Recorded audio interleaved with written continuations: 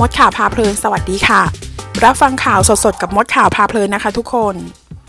ยืนยันสิทธิ์เราชนะ 7,000 นะคะสำหรับกลุ่มคนละครึ่งเราเที่ยวด้วยกัน ยืนยันสิทธิ์ค่ะ เราชนะ พรุ่งนี้ 29 มกราคมกระทรวงการคลังเปิดให้ประชาชนลงทะเบียนผ่านทาง เว็บไซต์เราชนะ .com นะคะ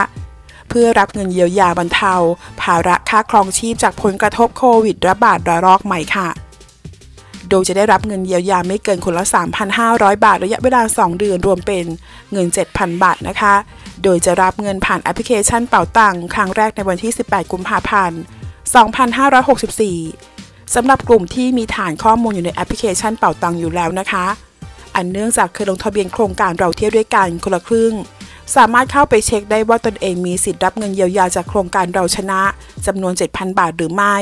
โดยมีขั้นตอนดังต่อไปนี้ค่ะ 1. เช็คสิทธิ์วันที่ 5 กุมภาพันธ์ 2564 นะคะ โดยผู้ที่จะได้รับสิทธิ์เราชนะนะคะ รับเงินเยียวยา 7,000 บาทนั้นจะต้องมีแอปพลิเคชันเป่าตังค์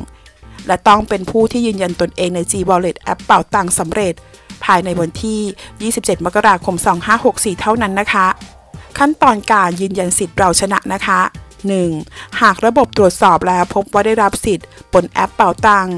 ก็จะปรากฏโครงการเราชนะ ให้เข้าไปกดยืนยันสิทธิ์ค่ะ